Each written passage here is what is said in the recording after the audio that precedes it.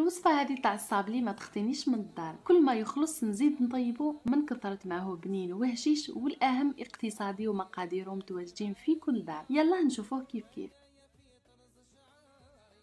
وباش نوجد الصابلي تاعي لازمني 250 غرام مارغرين بدرجه حرارة الغرفة ضفت عليهم قرصة ملح ولافاني من بعد زدت لهم بيضة بدرجه حرارة الغرفة كاس غير ربع سكر ناعم ونص كاس زيت. نخفق كامل المكونات مع بعض جيدا حتى نتحصل على قوام كريمي.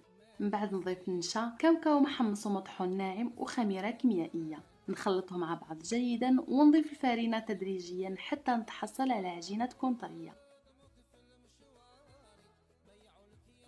كي نتحصل على القوام المطلوب نخلي العجينة تاعي ترتاح على الأقل نص ساعة في الثلاجة. من بعد نحلها على سمك رفيع نوعا ما ونطبعها.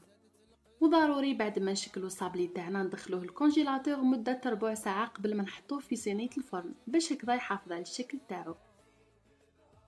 وهنا بعد ما طيبت الصابلي تاعي على درجة 180 وخليته برد.